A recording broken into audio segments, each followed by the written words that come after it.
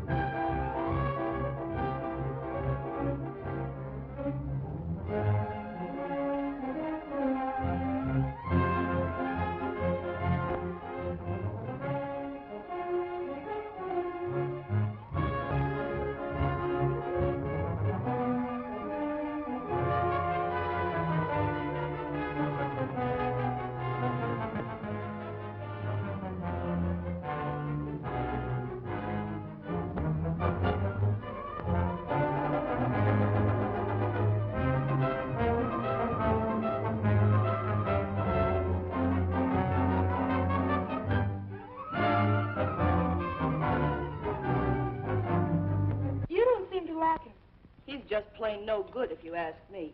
He's the sort of a guy that would change a girl's evening stroll from a recreation to an occupation. But he wants me to be his girl. His girl is a lot of girls, and you happen to be only one of them. But take my advice. I never saw any good come out of him, and I never will. You needn't deny anything. Monk has clearly shown me every detail. Monk. It surprises you? You mean you leave him? Yeah. Nothing but a sewer rat. You forget, Monk is working for me and has been for a long time. He's been checking on you and shadowing you for the past few weeks. I may be a sucker, but I can see you and Monk are made of the same filth.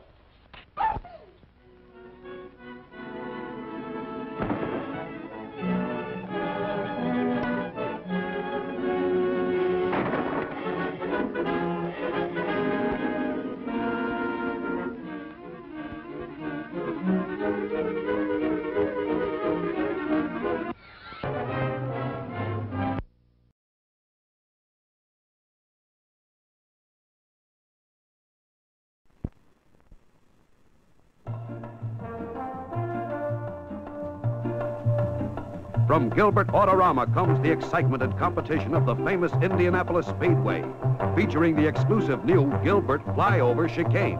Watch the stock cars in slow motion. Up and go. Gilbert makes cars rugged enough to take this kind of punishment. And look at the great assortment of Gilbert cars to choose from. The roughest, toughest, most realistic cars on the road. Past the timer, through the lap counter, now with stock cars up to the Gilbert flyover chicane. Only this time, in midair, the cars change lanes.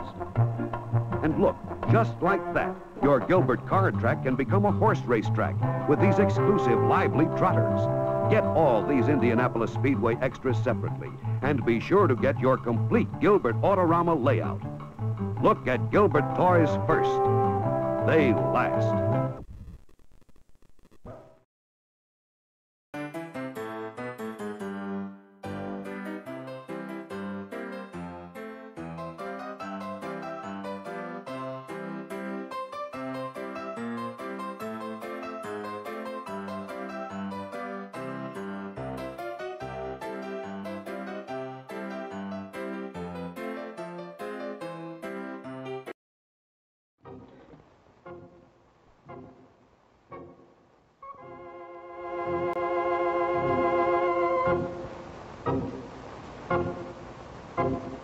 Rocky King Detective, starring Roscoe Karns as Rocky King, Chief of Homicide of a Metropolitan Police Force in an exciting fight against crime. Brought to you by Ivory Flakes, the mild, fast-dissolving flakes that beautify hands in the dishpan, and Florettes, the new chlorophyll candy mints and chewing gum that make your breath kissing sweet.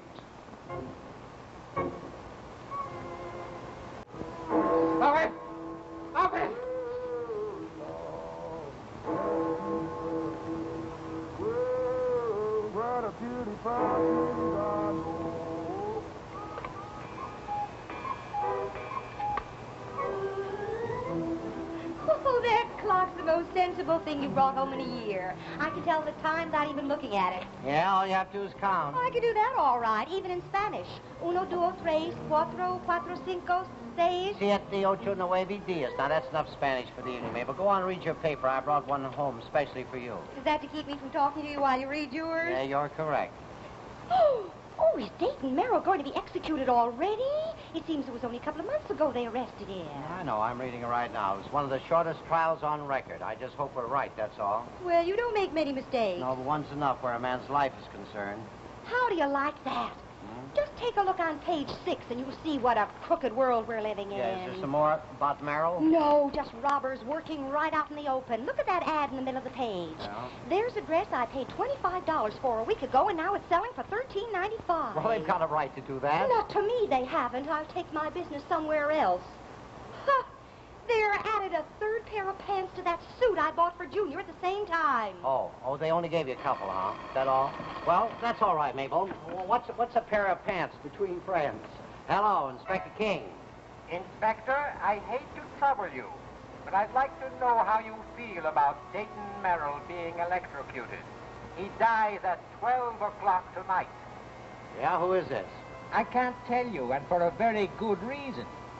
But if you knew Merrill wasn't guilty, and I'm sure it's too late to do anything about it, you wouldn't feel very well, would you? Oh, I don't think it's any of your business how I feel, but I'll tell you this. Dayton Merrill is going to chair on the evidence of one of my men. I didn't happen to be on the case, but I'm sure he had a fair trial. But a fast one, wasn't it? That's why I'm calling you. Merrill did not murder Dr. Keller. I did. Too bad an innocent man is going to the chair. Good evening, and uh, think it over, Inspector. Think it over. Hello. Hello. Well, who is it, dear? I don't know. We get more wrong numbers around here. Yeah. Yeah, we do. We do, Mabel.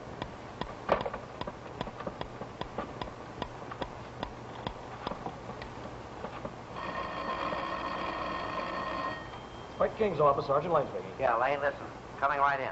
What for, Inspector? There's nothing doing down here. Yes, there's plenty doing. Dig up that file on the Dayton Merrill murder. Dayton Merrill, the guy's going to be electrocuted. I know that, I know that. Just do what I tell you. And get a hold of Lieutenant Rainey. He was on the case. Now, we got to move fast on this, so we haven't any time. Don't ask any more questions. Well, do you think the man is innocent? I don't know, Mabel, but I'm going to give him every break. Oh, wouldn't it be terrible if he was? Will you be gone long? I can't be long. Gone longer than 12 o'clock. It'll all be over, one way or the other. Goodbye, dear.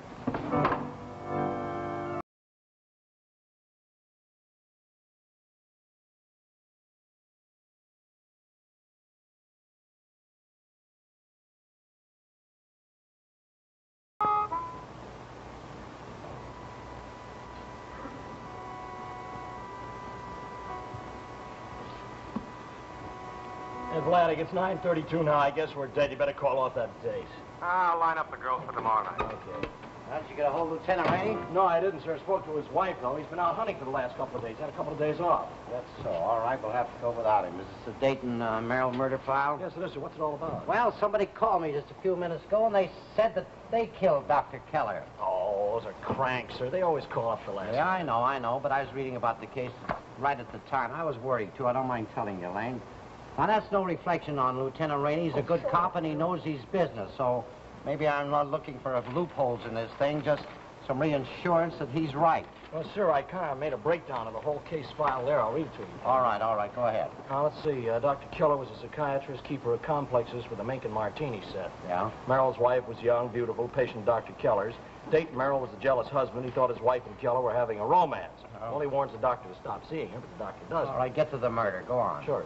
Uh, Merrill goes to Keller's office at night. The office is part of the doctor's house, but it has a separate street entrance. Yeah, what time was that? That was uh, 7.30. Who established the time? The maid. Uh, Keller was alone in the office at the time. His nurse had gone for the night. All right, go on. Let's see. here. the maid said she heard loud quarreling, listened through the door, heard Dr. Keller call Merrill by name.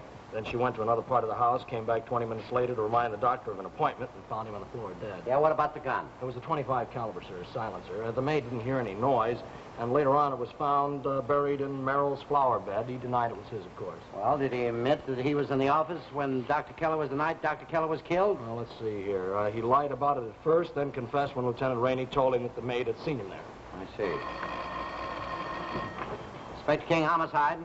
It is I again, Inspector. I'm sure you'll recognize my voice. Oh, yeah, yeah, sure. Glad to hear from you. Get on that phone in the other room, see if you can trace this call. What do you want? Stalling, huh? No, I cannot give you enough time to trace the call, Inspector. I figured you would be reviewing the evidence against Merrill by now. But he is innocent and has only two hours and 15 minutes to live. Lane, Yes, sir. you know something? We're up against a smart cookie. He knew we were going to trace that call.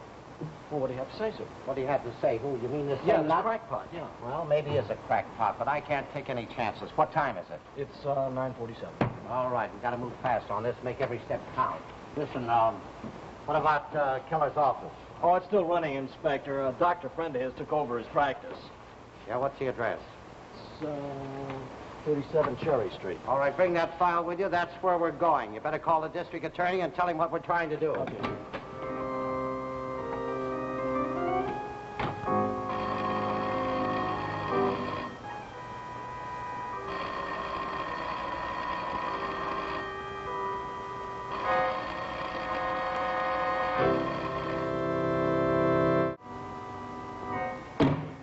There's reception room out here, Inspector. Evidently, the consultation office is back here. Now, this is it.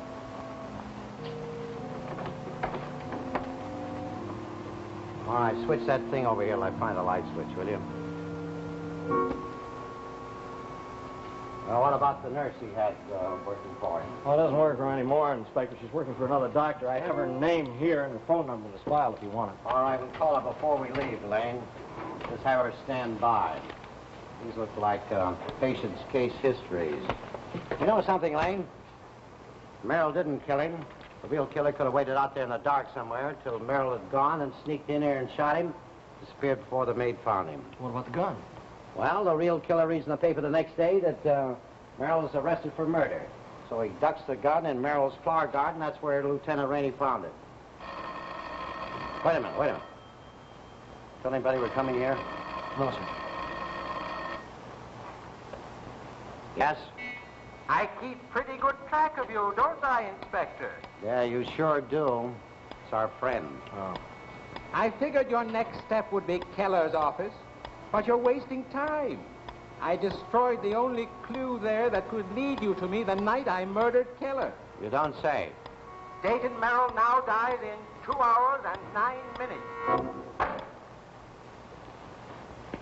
Well, he said Dayton Merrill dies in two hours and nine minutes. A little wrong there. It's less than that.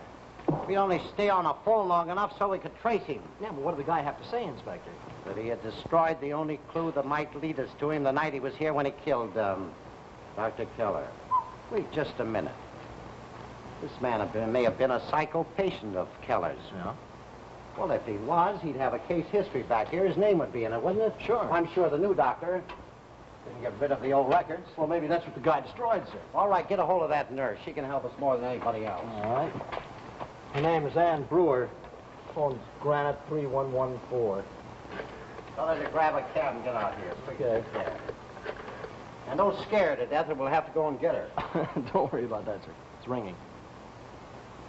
Uh, hello? Is Miss Brewer there, please? Oh. Uh, how long ago did she leave, do you know? Well, where'd she go? The Beverly Theater? All right, thank you very, very much. Bye. You know where the Beverly Theater is? You bet I do, sir. It's five minutes from here. All right, then. Get on the phone and call the manager. Tell him to page her in the theater. and talk to her in the manager's office. I'll up through these things.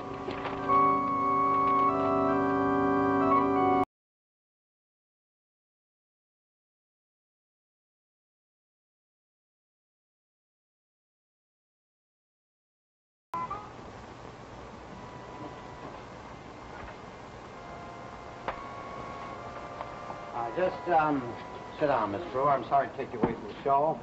Thanks very much for the use of your office. We won't keep it very long. Now, uh, uh, Miss uh, Brewer, you would be familiar with uh, Dr. Keller's um, case histories, wouldn't you? Yes, with all those in the active file. Then if one of them was missing, would you know about it? Yes, I think so, Inspector. Beverly Theater manager speaking. Is Inspector King there? Oh, just a minute. For you, Inspector. For me. Well, this can only be one person. So you knew my next step would be to find Miss Brewer, huh? You found out where she was just like I did. Yes, of course. I called her home, too. But you're wasting Dayton Merrill's precious time because the missing case history you're looking for was closed before Miss Brewer worked for Dr. Keller. She wouldn't know anything about it. How long did you work for the doctor? Just three weeks before he was murdered. All right, then, Lane, we're talking to the wrong nurse. We want the one that was there before. We want to talk to her before Miss Brewer. Can't, Inspector. She was killed in an accident. What? Well, you're doing great. I think so. Yeah, see you next trip. All right, you can go back to the show, Miss Brewer. Would you leave us, please? We want to do a little talking. All right. Okay, what do we do next? Well, let's get in touch. We'll go to the district attorney and see if we can get a stay of execution, although I haven't got one solid thing to hang it on. You think our friend will know where you're going next? Well, undoubtedly, but I don't think you'll call there because he'll figure that the district attorney will turn us down. And he figures that we'll quit because there isn't enough time. Hmm. But I'll tell you what he will do. He'll call my house and tell me what a sap I've been making of myself. And that's the call that we'll lay for. All right, put a tracer on my phone right now. You want me to call the DA too, sir? Yeah, yeah, sure. Tell him to stand by in case something... Now, wait a minute. Now, wait, wait just a minute. Let me think. We've still got a chance to find out who this man is. By looking at the old records in the, in the doctor's office, the ledger, the account thing. All these business papers seem to be there. Mm-hmm. Now, if he was a patient, he must have a case history. So we'll go back a couple of months and match that case his history against the the, the, the record book, the, Yeah. the, the, the case record. All right, all right. Let's get over there fast. I'll tell Gahagan to put a trace on my phone from there.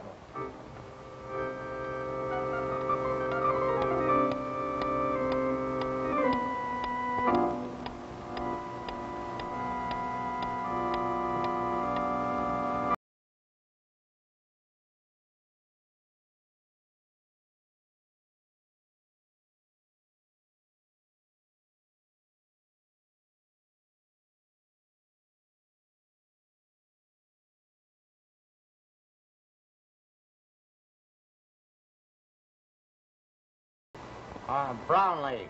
Finally check, sir. All right. Chatham. Chatham, check. You don't think he knows we came here again, do you? J- janitor speaking. Who you want, please? For goodness sake, Rocky, don't strangle to death. What are you doing, sipping an ice cream soda? Oh, it's you. What- How'd you know where I was? Mr. Gagan told me. He's been here fiddling with the telephone. Said you wanted a tracer put on it. That's right, and you off of it, so don't use it anymore tonight. I'll be home in a little while. Well, haven't you got enough telephones in the police department without tying up my only friend? Well, she can hang up just like that other fella. All right, let's go ahead. Where were we? Who was the last one? Chapman? Chatham.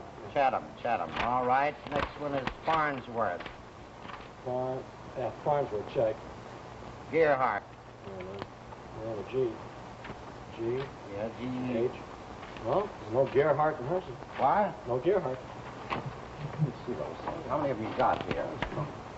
Oh, Gearhart. Wait a minute. Gearhart, huh? Yeah. Name rings a bell from somewhere. Mrs. Carl Gearhart. Sure, sure. Professor Gearhart.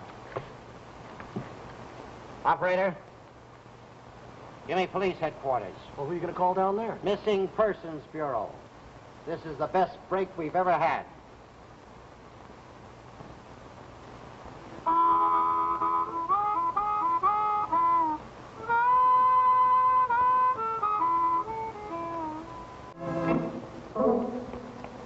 Tell me more about this uh, Carl Gerhardt. Well, it was quite a deal a couple of months ago. The papers were full of it. He was a professor at Crane's University, and all of a sudden he disappears.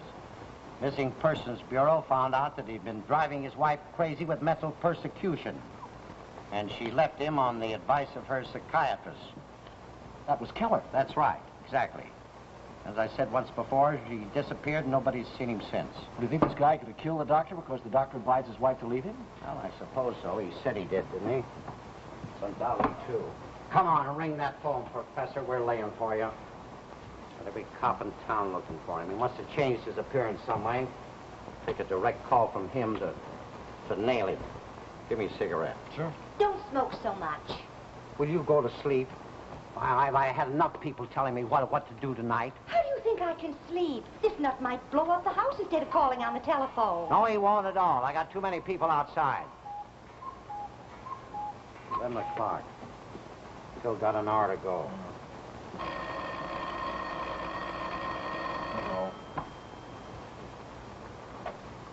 Hello?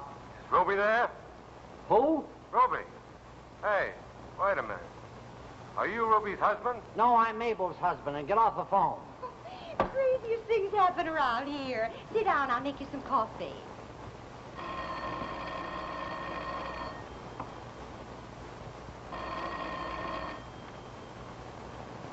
Hello? Inspector King? Oh, it's you again. Well, of course I had to call and claim my victory. Yes, I thought you would. But how can you be so at ease with an innocent man going to the chair? Because you couldn't catch the real killer. Listen, all I wanted to do was prove that you were a nut, and I've satisfied myself that you are, so now just go away and let me sleep. There's nothing on your mind but our innocent man going to the chair? All right, now let's see what we got. Yeah, Call came from Joe's Bar and Grill, 417 4th Street. all right. Radio patrol cars to cut off those streets. Cover that whole area. Get a hold of the DA and tell him to come to my office at once. Keep a line open for the warden. Where are we going, sir? Skid Row. Let's roll and let's pray. What huh? about the coffee? Never mind, we may be back, Mabel. Keep it warm.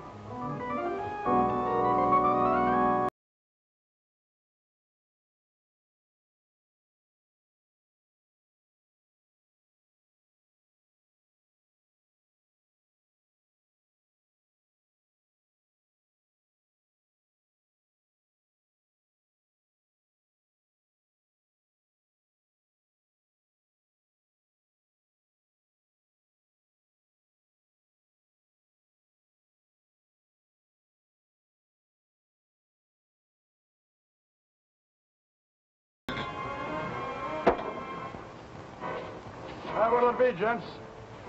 Just a little information, if you don't mind. Somebody used your phone just a few minutes ago. A man about 55 years old, gray hair, five feet nine. He sort of talks with a cultured accent of voice. yeah, you mean the Duke?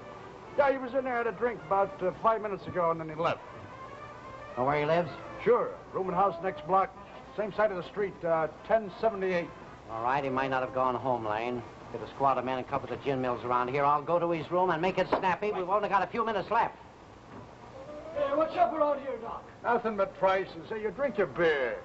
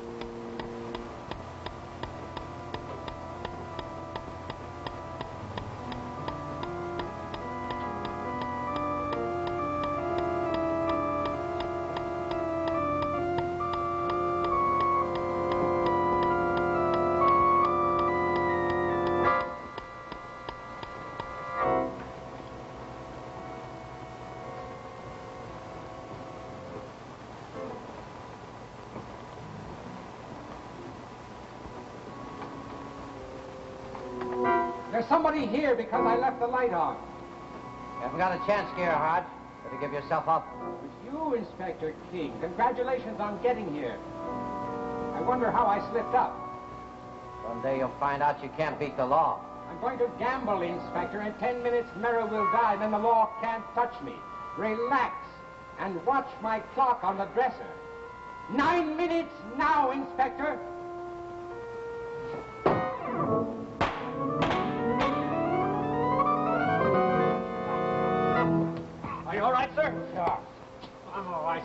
Come on, get on your feet. Just shot him in the hand. Take care of his gun. Operator, give me police headquarters, Inspector King's office. Where you slipped up, Gerhardt, was the fact that you were born. Hello. Hello. Hurry it up, will you, please? Hello. It's Inspector King. Listen, D.A. You can get in touch with a warden, but just make it snappy.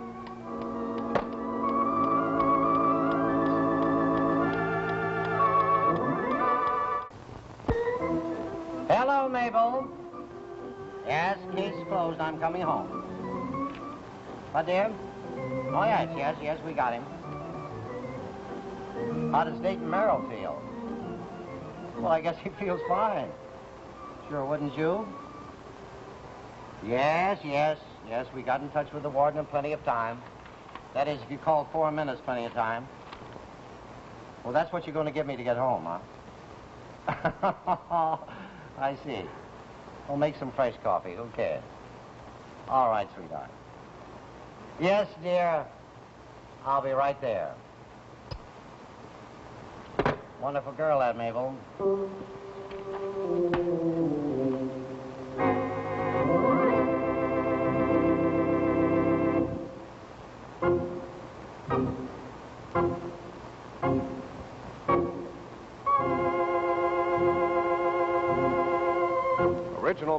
Composed and played by Jack Ward. Tune in again next week for another exciting adventure of Rocky King Detective, starring Roscoe Karns as Rocky King.